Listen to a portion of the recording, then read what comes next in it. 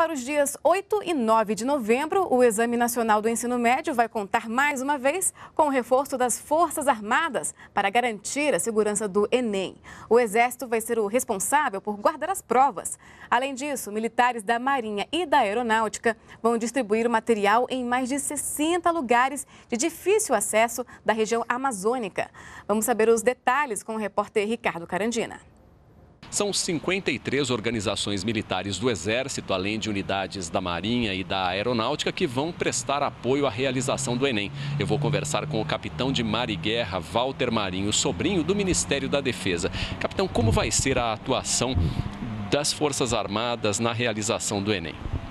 Bom, é, como você já iniciou, é, nós temos dois tipos de apoio, né? um pouco semelhante até o da eleição, mas nesse caso voltado apenas para o apoio logístico.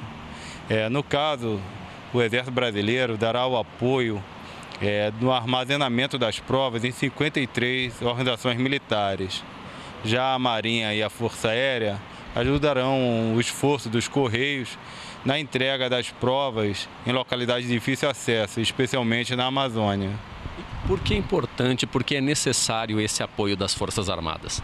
Bom, hoje em dia, com digamos assim, o aumento do volume de, de provas né, e a difusão do, do processo em todo o Brasil, é, o Enem tem chegado em regiões cada vez mais distantes ou de difíceis acesso né, no território nacional. Então, esse tipo de apoio vem permitir com que candidatos né, e, é, possam se integrar ao sistema e também realizar, ter sua oportunidade também de chegar à universidade por esse caminho.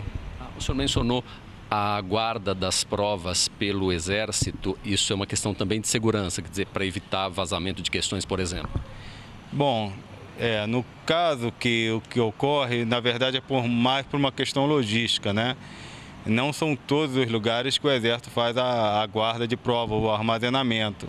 Mas naqueles locais onde há, não há uma logística é, preparada, uma condição preparada para receber essas provas, tendo na proximidade uma unidade da, das Forças Armadas, no caso do Exército, então é feito um contato pelo Ministério da Educação e Cultura para que é, essas provas possam permanecer nessas instalações que é, com certeza tem também um aspecto de, de, segurança, né?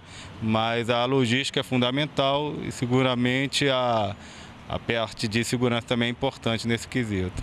Como foi a participação das Forças Armadas agora no processo de eleições, capitão? Bom, acredito que tenha sido é, bastante satisfatória, foi uma participação tranquila. É, as Forças Armadas cumpriram com sua missão de entregar as urnas em locais também de difícil acesso é, como também é, promover e apoiar a segurança para os eleitores, aonde o TSE solicitou esse tipo de apoio. Não tivemos nenhuma ocorrência relevante nesse sentido, então acredito que tenha sido um sucesso essa participação. Então, muito obrigado, capitão de mar e guerra Walter Marinho Sobrinho, pela entrevista. E as provas do Enem vão ser realizadas no próximo fim de semana, dias 8 e 9 de novembro, e para essa edição se inscreveram 8 milhões e 700 mil candidatos.